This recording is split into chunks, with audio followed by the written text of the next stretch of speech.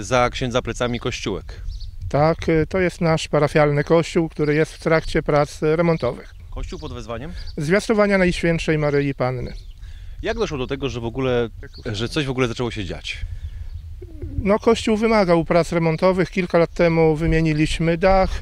Teraz prowadzimy prace termomodernizacyjne. Jest, są już docieplone ściany, będą wymienione jeszcze okna, drzwi, zrobiona mechaniczna wentylacja z rekuperacją. Prace na zewnątrz. Tak, są to prace na zewnątrz i w czasie tych prac, po oderwaniu desek szalówkowych na zewnętrznej ścianie prezbiterium odkryliśmy obraz namalowany bezpośrednio na balach kościoła.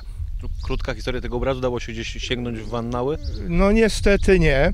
Y, Niektórzy parafianie przekazywali, że być może jest jakiś obraz tu namalowany, ale nikt nie znał szczegółów.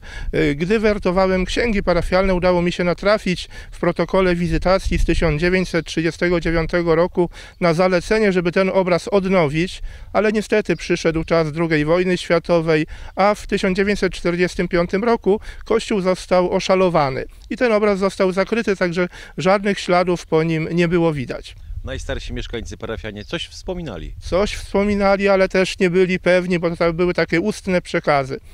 E, Dodatkowo przy okazji remontu wieżyczki kolejne znaleziska. E, Tak, odkryliśmy y, trzy obrazy, ikony, które były jeszcze w kościele unickim.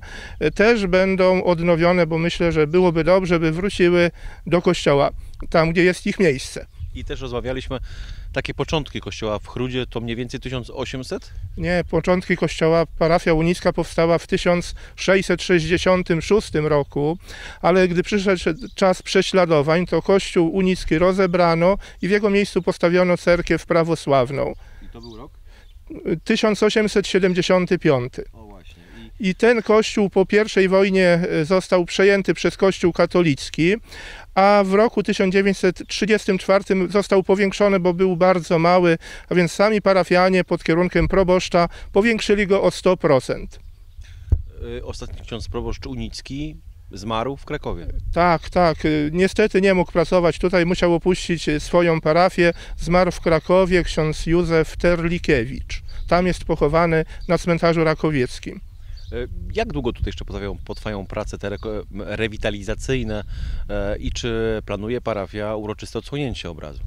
No myślę, że to zrobimy. Na razie y, trudno mówić o takich planach, bo mm, prace termomodernizacyjne zakończą się już w wakacje, a nie wiem ja ile potrwają prace przy renowacji tego obrazu i tych trzech, które y, są namalowane na deskach. Dla samej parafii, dla kościółka będzie to i zabytek, e, i miejsce specjalne, szczególne?